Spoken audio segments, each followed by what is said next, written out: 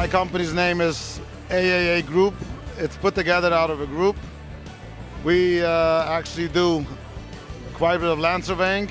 That's our focus and main operation. What we do, we have uh, over 10 people running around all over New York City, all five boroughs, even in Nassau County we cover. And we do all kinds of different kind of surveys. We do ground up, we do buildings, high tower buildings, each floor.